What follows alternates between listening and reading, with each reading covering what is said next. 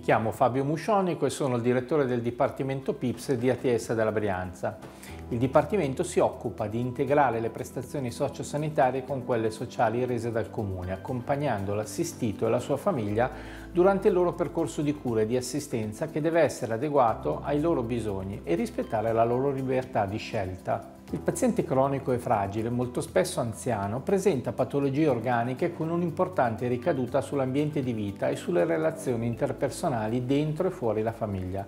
Tra queste patologie le demenze, per il lungo decorso clinico e la continua ingravescenza dei sintomi, non possono e non devono essere trattate limitandosi alla cura dei sintomi o ad interventi parcellizzati sui diversi aspetti di questa patologia complessa. In pratica, il medico di base che prescrive i farmaci, il volontario che si occupa dei trasporti, la struttura di riabilitazione, il comune che fornisce l'assistenza al domicilio, lo psicologo che sostiene i familiari della persona demente, l'infermiere di comunità, non possono che lavorare insieme, ciascuno per la propria specificità certo, ma insieme in modo integrato. Nel territorio di ATS Brianza, sia nella provincia di Lecco che in quella di Monza, esistono numerose esperienze e buone pratiche che affrontano queste patologie complesse secondo questo principio. Regione Lombardia ha anche finanziato due progetti sperimentali, uno sulla provincia di Monza e uno su quella di Lecco.